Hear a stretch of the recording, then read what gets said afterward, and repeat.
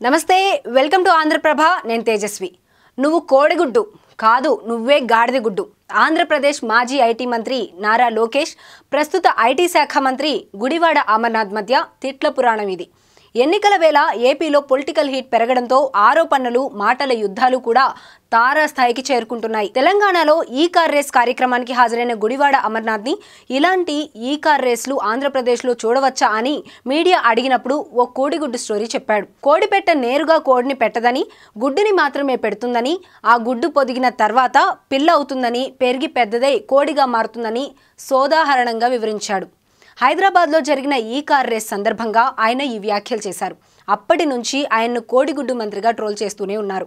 ఇదిలా ఉంటే తెలుగుదేశం పార్టీ ప్రధాన కార్యదర్శి నారా లోకేష్ యువగలం పాదయాత్రలో భాగంగా అనకాపల్లి పర్యటనలో మంత్రి అమర్నాథ్ని మరోసారి కార్నర్ చేస్తూ మాట్లాడారు. విచిత్రం ఏంటంటే కోడిగుడ్డు మంత్రి ఉన్నాడు. తెలుసు కదా ఎవరు?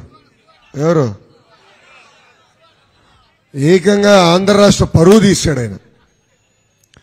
అయ్యా ఈ రేసు పరిశ్రమలు ఆంధ్ర రాష్ట్రంగా ఎప్పుడు వస్తాయంటే కోడి ముందలు వచ్చిందా గుడ్డు ముందలు వచ్చిందా అని అడుగుతాడు.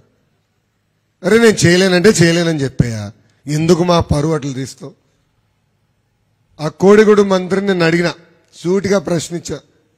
అసలు మీరు ఎన్ని ఉద్యోగాలు కల్పించారు? మీ వల్ల ఎన్ని ఉద్యోగాలు పోయిందో చర్చకు మీరు సిద్ధమా? నేను సిద్ధమని ఛాలెంజ్ కూడా ఇస్తున్నా.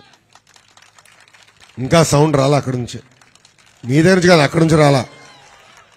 కోడిగుడ్డు నుంచి సౌండ్ రాలా పనిలో పనిగా కోడిగుడ్డు మంత్రి అనేశారు. ఈ మాటలకు మంత్రి గుడివాడ అమర్నాథ్ ట్విట్టర్ వేదికగా కౌంటర్ ఇస్తూ తనను కోడిగుడ్డుతో పోల్చిన గాడిదగుడ్డు నారా లోకేష్కి ఇదే తన సవాల్ అంటూ ట్వీట్ చేశారు. లోకేష్తో కానీ టీడీపీలో గెలిచిన ఏ ఎమ్మెల్యేతో అయినా తాను చర్చకు సిద్ధమని తేల్చి చెప్పారు అమర్నాథ్. ఇలా కోడిగుడ్డు గాడిదగుడ్డు అని తిట్టుకోవడం సోషల్ మీడియాలో వైరల్గా మారింది.